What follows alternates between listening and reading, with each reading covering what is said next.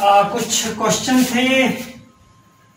Answer है sir जो allotted college नहीं लेगा तो वो कॉलेज चेंज करने का प्रोसीजर क्या है?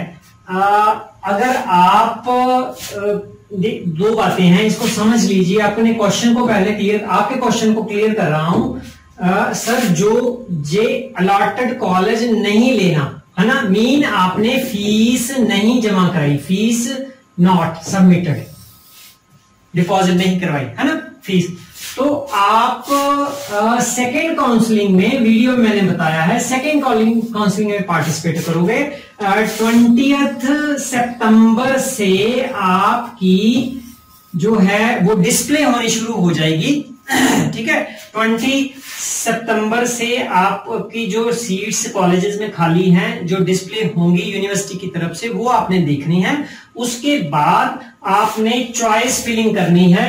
आ, मैंने अभी डेट बताई भी है उसकी चॉइस फिलिंग की क्या है। आ, ये सेकंड में मोस्ट इंपॉर्टेंट ये बात है। Online choice filling of major combination है ना? ट्वेंटी सितंबर से ही होगी ट्वेंटी थर्ड तक। ये आपने करना है ये आपके लिए सबसे ज़्यादा ज़रूरी है। आ, ये रहा। तो वो आपने दोबारा चॉइस फिलिंग करनी है तो आप ऑटोमेटिकली सेकेंड काउंसलिंग में शामिल हो, कोई फ़ीस नहीं देनी। अगर आपने फ़ीस पहले कॉलेज में डिपॉजिट करवा दी है केस नंबर टू फ़ीस जो है, आप डिपॉजिट करवा चुके हो। टिक लगाया है ना? डिपॉजिट हो गई।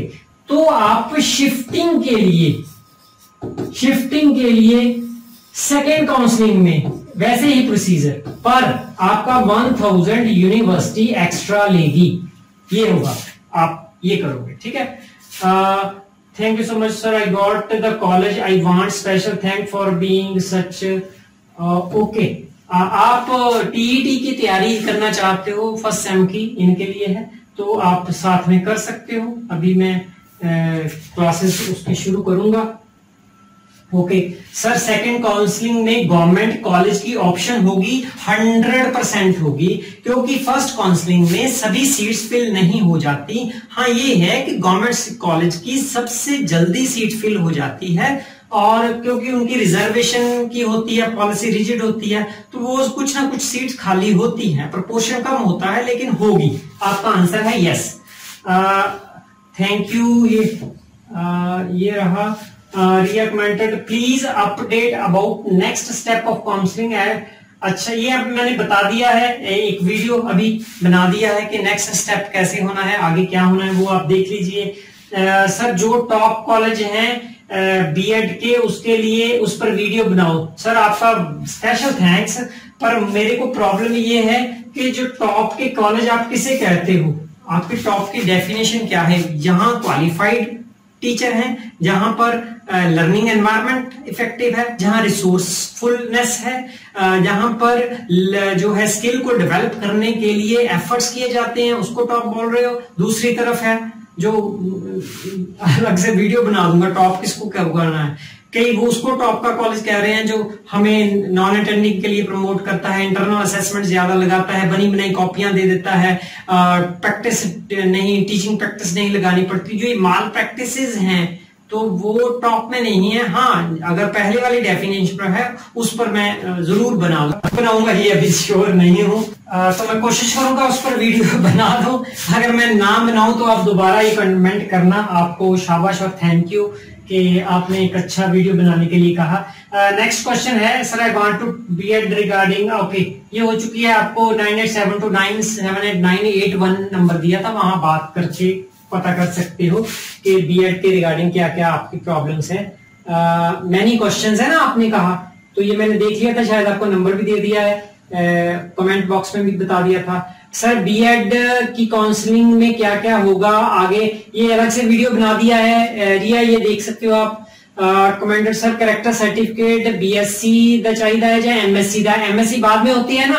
तो लास्ट वाला चाहिए। आपको एमएससी वाला करेक्टर सर्टिफिकेट चलेगा, लगेगा वो। सर बीएड से लेकर गवर्नमेंट टीचर ये बहुत अच्छा मैंने मैसेज पढ़ा भी था कि गवर्नमेंट टीचर लगने तक का वीडियो क्या प्रोसीजर है? डिटेल में उसको बता दो, बहुत अच्छा है, ध्यान से बनाऊँगा। ये मिस था, ये ज़रूरी है बीएड करने से पहले भी। वेरी वेरी थैंक यू आपको, संधु जी। अगर मैं ये वीडियो नहीं बनाता आठ, दस, पंद्रह दिनों में, क्योंकि वीजी हूँ आपके पीटेट और फ़र्स्ट सेम की तैयारी के लिए कुछ तैयारी कर रहा हूँ। ये आपका माइक सिस्टम ये वो वीडियो आप कह रहे ठीक नहीं है ना? उसको कर रहा हूँ, ठीक।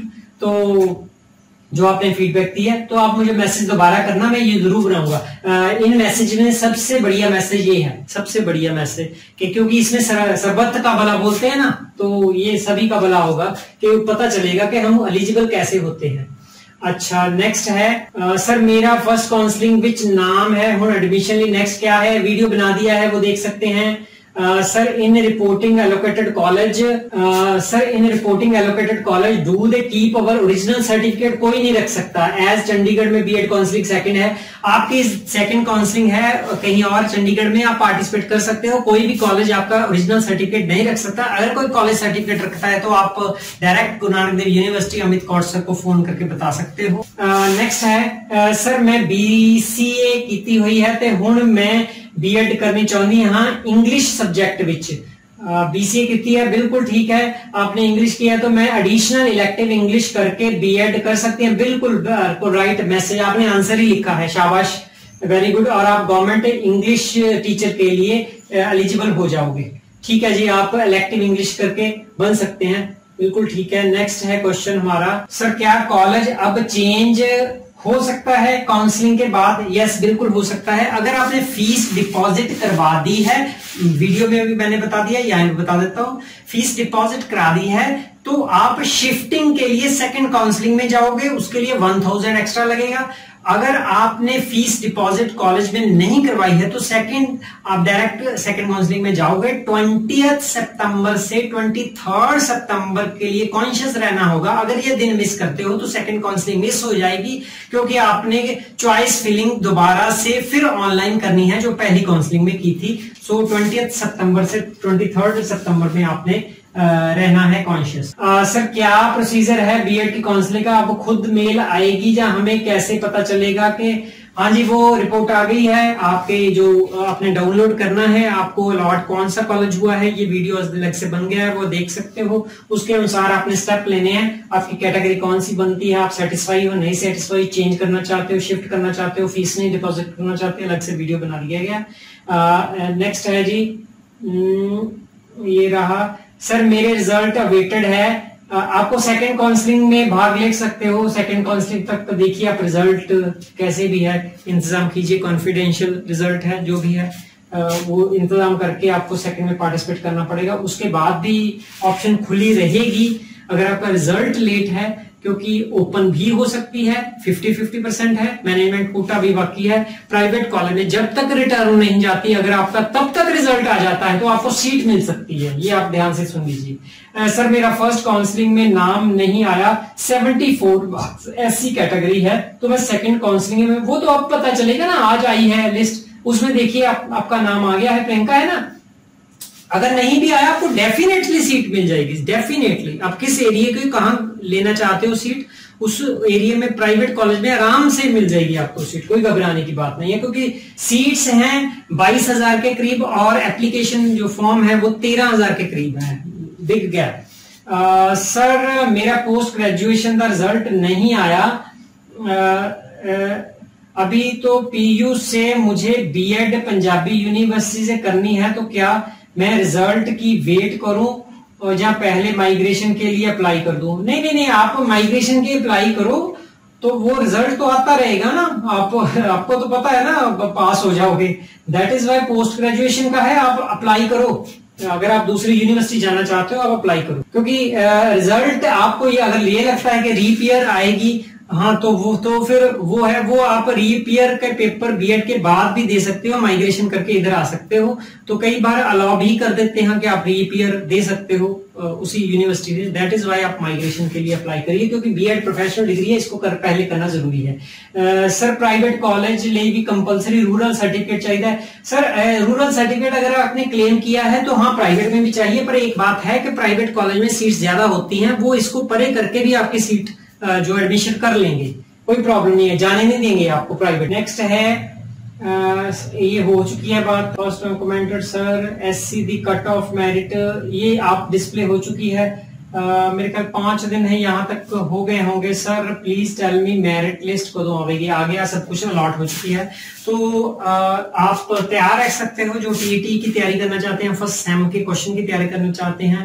आ, तो अभी फॉर्म भी आने वाले हैं सी टेट के पी टेट के भी आने वाले हैं। ऑनलाइन जो है उसका जो ये सिस्टम आपकी फीडबैक थी कि वॉइस नहीं अच्छी सर ये जो कैमरा है जहाँ वो फ्लक्चुएट करता है तो उसकी तैयारी कर रहा हूँ। दैट इज़ वाई पीछे जवाब नहीं दे सका। तो अब जुड़ा रहूँगा। आपके साथ टीईटी की तैयारी करवाऊँगा। कोशिश करूँगा, क्योंकि टीईटी के लिए आपको बीएड का सारा सिलेबस जो है, उसका एक्सपीरियंस चाहिए, लेकिन आपने छह महीने में, अगर चार महीने में करनी है तो कोशिश करूँगा कि उनको ब्रीफ में आप कैसे अपियर हो सकते हो। ये डेफिनेट है कि अगर आप हिम्मत करोगे, आप थिंकिंग एक्सरसाइज में करवाया करूँगा तो वो करोगे तो क्लियर कर जाओगे। ऐसे में मतलब गप नहीं लगा सकता कि ये जैस आप इस चैनल पर आओगे, ऐसा कुछ नहीं है। अगर आप थोड़ा साथ में साथ पढ़ोगे एक्सरसाइज करोगे तो हाँ probability of qualifying TETs there ठीक है?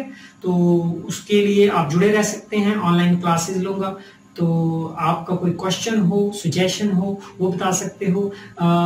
मोस्टली uh, जो स्टूडेंट्स हैं वो चाहते हैं कि पाँच बजे के बाद क्लास लगाई जाए ऑनलाइन अगर लगती है डेली तो पाँच बजे आप कौन सा प्रेफर कर रहे हो? पाँच बजे छः बजे सात बजे आठ बजे नौ बजे? आप कमेंट बॉक्स पर five P M six P M seven P M eight P M nine P M ये लिख के भेज सकते हो।